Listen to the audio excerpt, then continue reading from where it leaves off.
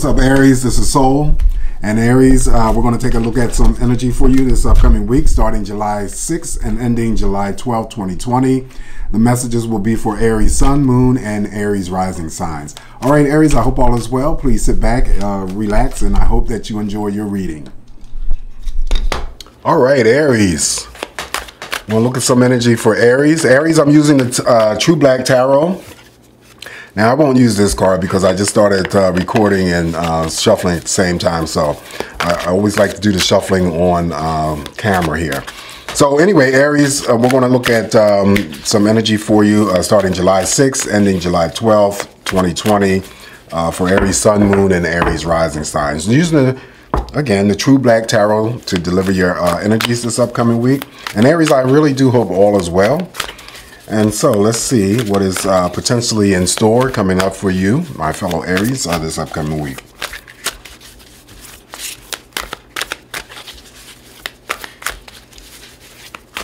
Aries, we're going to start the energy off for you at the shadow base, and we're going to have the Eight of Cups. Now, the Eight of Cups has been showing up here quite a bit, and I've been explaining to um, the other zodiac signs about this Eight of Cups.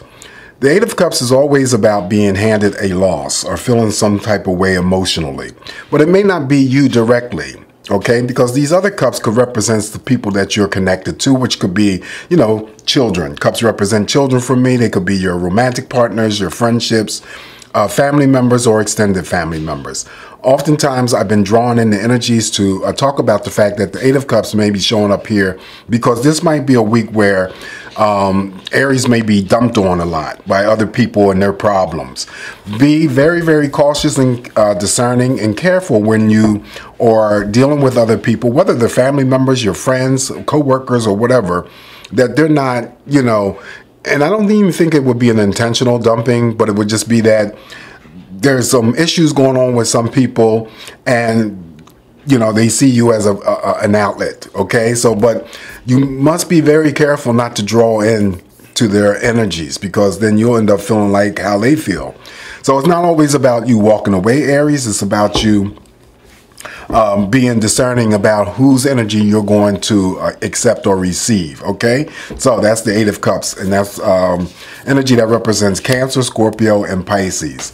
Your focus here for the week is the Ace of Pentacles, which is a good card, and the Ace of Pentacles is about starting possibly for some of you a new job, getting a pay raise, probably uh, some of you getting promote, promoted into higher paying positions. The aces are always the start of something new.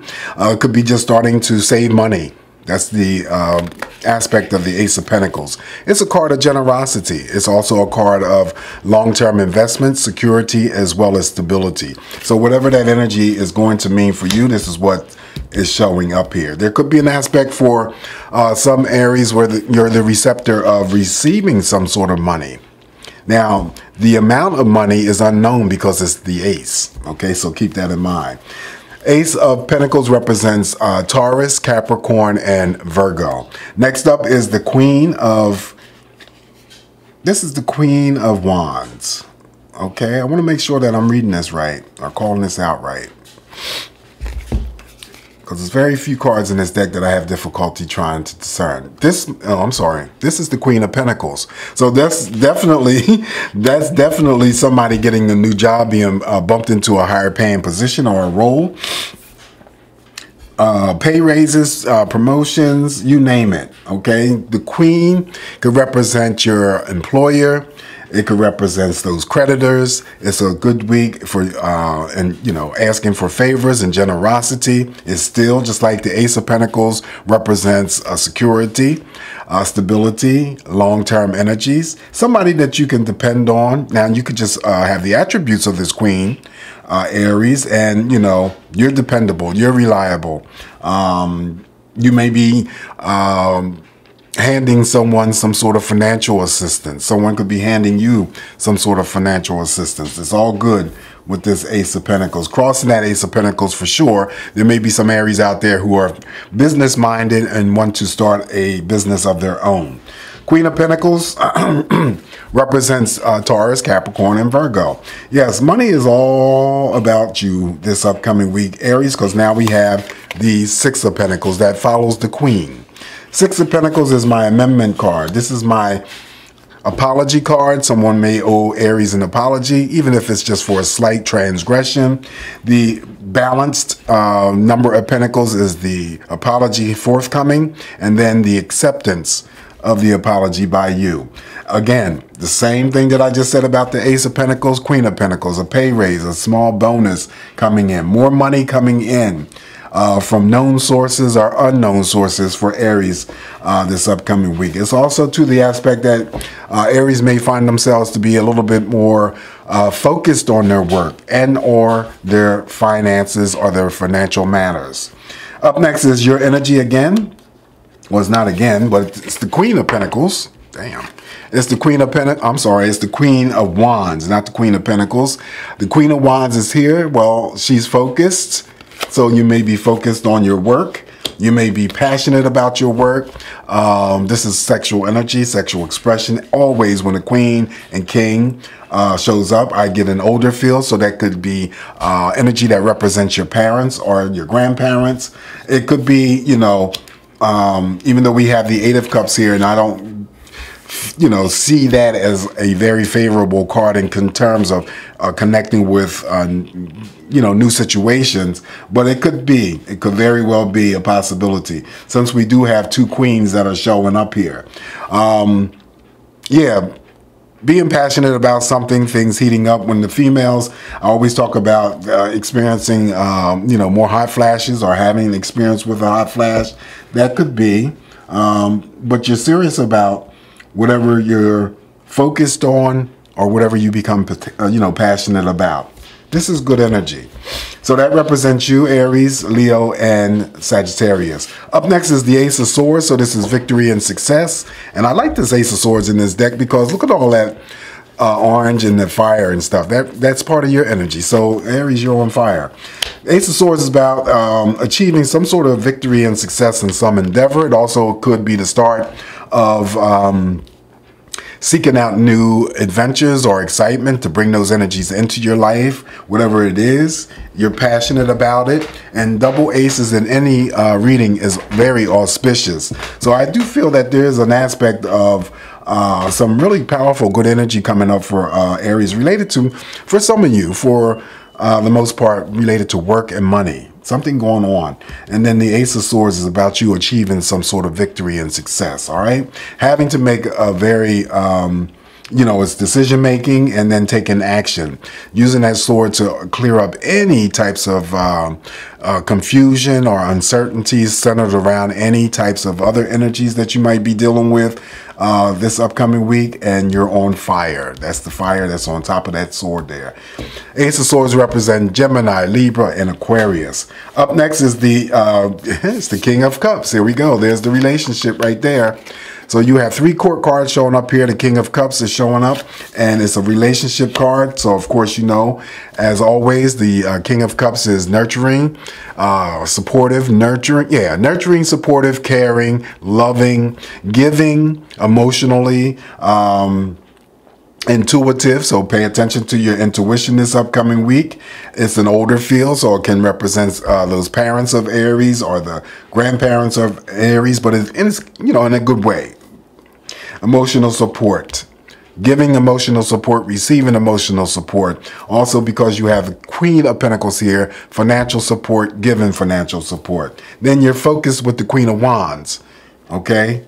Focus with the Queen of Wands showing up here. Then you're passionate about uh, some type of energy. I feel that it's connected to, it could be, you know, it could be something as simple as a hobby, whatever it is that you have an interest in.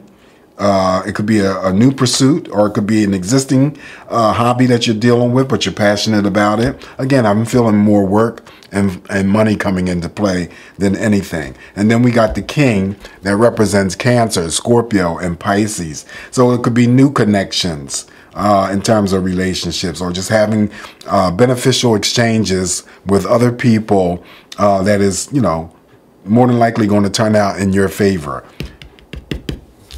as we have the um, card of generosity that's crossing your immediate environment. And I always say that I pay attention to the very first two cards that are drawn because it usually gives me an indication of how some of you may experience and your week may go along or come along potential. All right, so you're starting off very good here, and then as we proceed forward, it's still, the energy is still good. All right, so what is up next is more good energy, the Eight of Wands, and you know I love the elements to show up for the sign that I'm reading for. This is good news, surprises that could come in rapidly. This is an open general reading, Aries.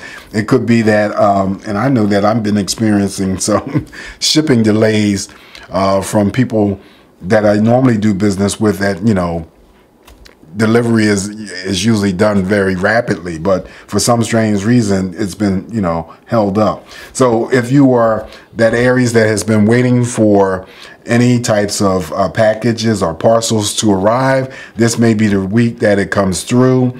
Good communications, whatever you express to others this upcoming week, uh, Aries, it will be understood, and whatever uh, information that comes your way through the expression of other people, you're going to understand it as well. So there's no miscommunication. There's a greater uh, need to communicate, and through those means, it could be simple, um, something as simple as you know texting. Uh, a lot of texting always taking place, uh, but yeah, whatever comes through in the form of text is understood. And then there's a surprise, definitely some sort of surprise that could come your way as well. All right, so we finish off the uh, energy for you with the Major Arcana, the Judgment card. This is a neutral type of energy for me. And not only are you going to be moving about this week, uh, Aries, being focused and uh, possibly some of you focused on, it could be relationships as well, since we have uh, multitudes of court cards uh, that are showing up here. And, um, but I do feel that whatever you do, the judgment card always comes up for me as that you're watched over, you're spiritually protected. So you can move confidently throughout the week knowing that, you know, you're protected and you're watched over. So it mirrors the Ace of Swords. So when it comes to making business or, you know, uh, decision making, using your best judgment to make decisions that are going to benefit you. This is my awareness card self-awareness self it could be self-reflection.